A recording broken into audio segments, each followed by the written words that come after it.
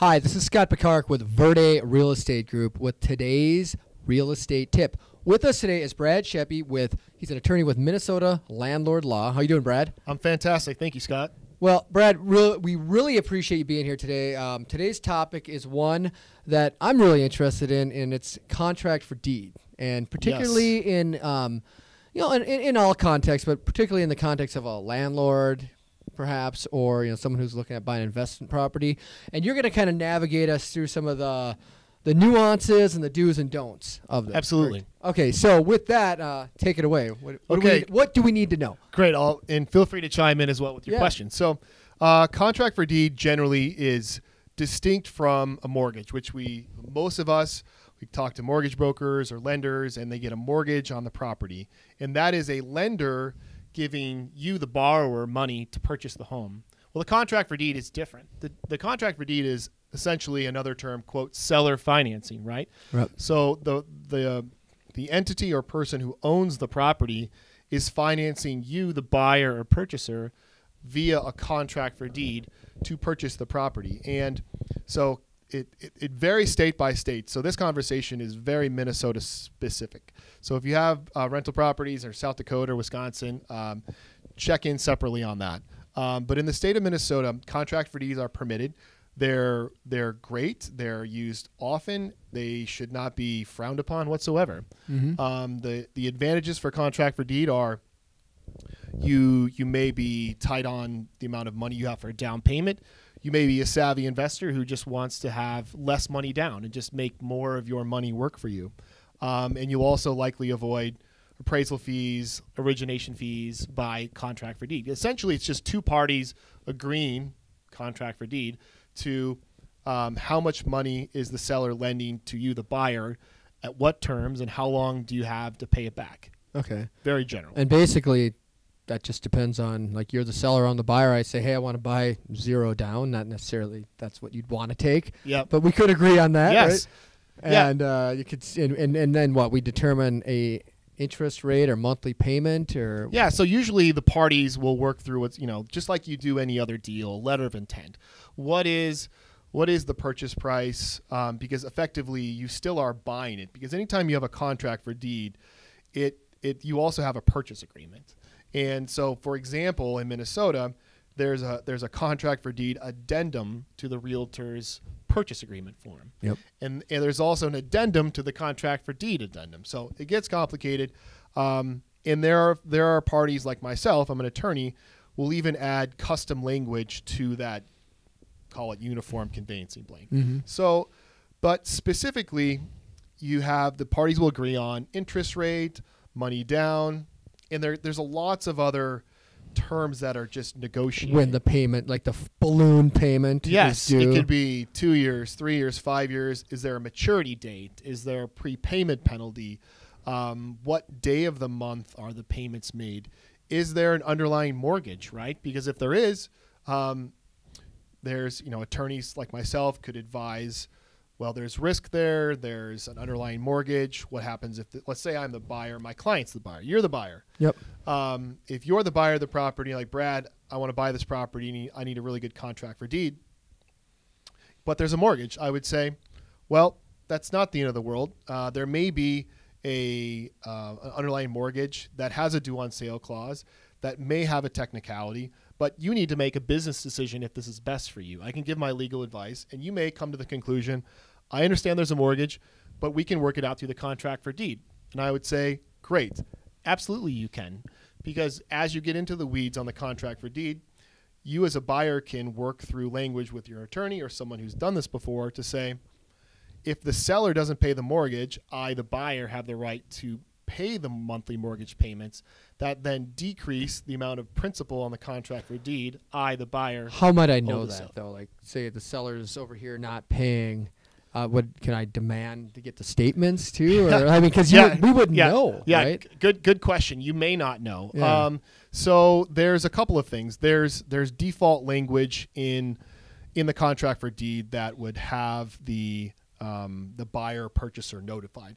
Generally speaking, though, the seller no longer is in possession of the property, right? Right. Usually, if you're buying, um, sometimes sometimes the buyer may purchase to occupy because they may have not a good credit score or otherwise your client may want to buy a home and that's the only way they can buy you may buy as an investor and your tenant may be there um, and so if there's and if there's something going on with a foreclosure by state law they're notifying the property so there's a, there's a notice coming to the house Right. putting on the door so you likely would be notified um, if you have a tenant there or if you live at the property So, uh, kind of a different track here. Say I buy, and my intention is to say it's a say it's a four unit, and I'm going to move into it, and Yep. I'm going to be an investor, or an occupant, and but the unit I want to move into, the kitchen was you know came over with the Mayflower, so I want to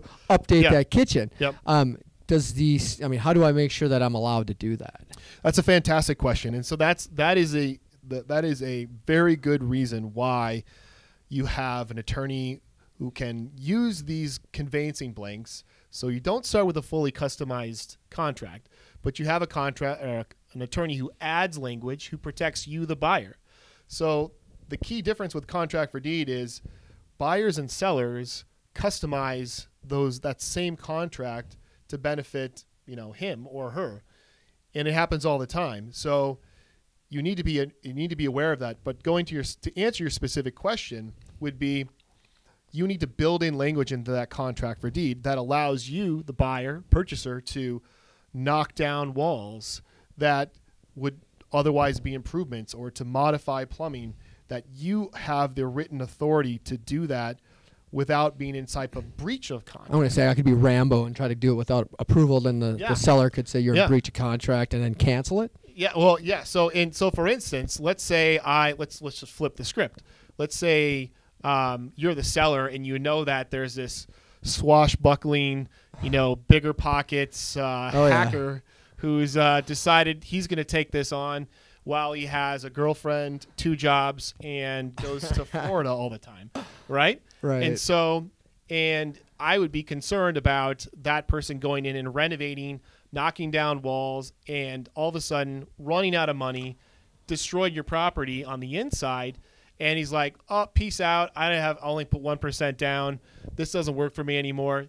Here, you know, here are the keys. Yeah, it's a definite risk. right? Yeah, you're, you're you now get your property back, even though you had an old kitchen. You get your property back with the interior that you can't just rent it out. You now have to put as a seller, you get the property back that may be of less value than you gave it under contract. You didn't give, but you contracted it Right. to the buyer. So that's a good example that we were quickly able to assess that. And as a seller, you can put in language about if you do X, Y, or Z, then you need you know written permission or other that's a material breach of the contract, and the seller can cancel the contract. So it's very case by case, but that's that's the beauty at the same time of the contract for deed. Who has the insurance? Like, say I, I'm the buyer. Do you, as the seller, carry the insurance, or do I? Well, again, either party can, but it's both parties are named additional insured, so that's also negotiated. And if you go to the um, contract for deed addendum in the state of Minnesota, you can see that there's options to choose buyer seller who holds the insurance, who's making payments. So that actually gets, as an example, that comes up often because it's common for a contract for deed, someone to sell their property in contract for deed, but they have a mortgage Right. and they have an escrow, right? So it's automatically paying insurance and taxes already.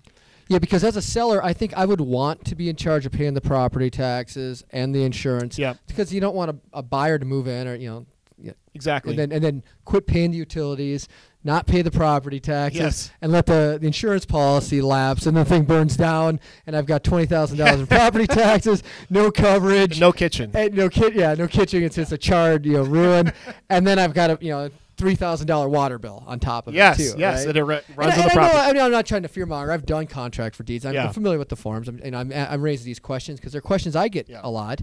And you know, I'm not trying to fearmonger or, or, or scare people, but Yeah. you know, there's a smart way to do it as a seller, and there's a smart way to do it as a buyer, right? Correct, You know, correct. and, and a very very reasonable ways to do it, right? Yeah, and and if you do talk to an attorney like myself, it's not this open-ended fishing expedition. It's Right. really, generally speaking, it's kind of more surgical. Like, ah, hey, I'm the buyer, I'm the seller.